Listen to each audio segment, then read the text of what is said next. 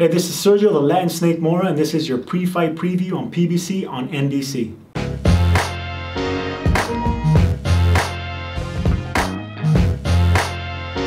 This week we're going to my home state of California where Robert the Ghost Guerrero faces Aron Martinez at the StubHub Center in Carson, California. Aron Martinez is known for his durability. He's very tough and he has some good boxing skills as well.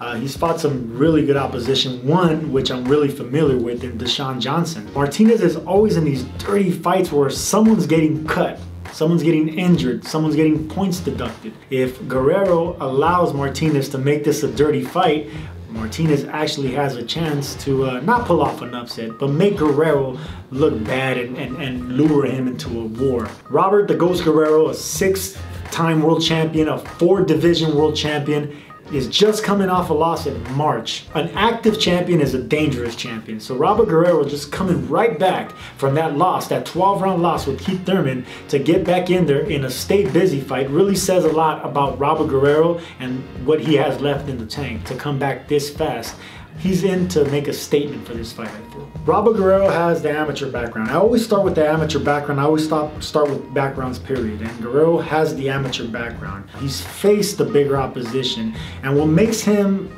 a talent. What makes him special is he's a southpaw. He has a chin, he has heart, he has he has decent speed, he has pretty good pop in both punches, and he's been able to carry his weight from featherweight all the way to welterweight now. So this is an impressive fighter. So he just needs to go in there, take care of business, not take much punishment, and he can do that in under uh, five rounds.